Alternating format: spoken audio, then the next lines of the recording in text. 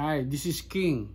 Right now I'm going to review the 100 watts Topsolar solar panel. I bought it in Amazon for $135. It's half the price of the Jackery Solar Saga 100 watts. This one came yesterday. It comes with a bag.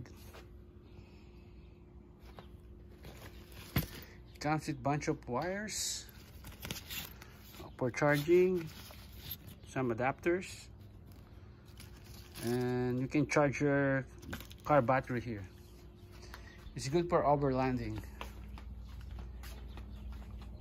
right now it's around 10 in the morning. So uh, this is how she looks like. Folded in four. It has a one USB port one USB-C and two for for the plug for the battery cable for charging. And, and right now it's giving 73 watts. Not bad. We all know that 100 watt solar panel don't give 100 percent. For the price I think I, I believe I like this one. It's 135 as of now. I like it.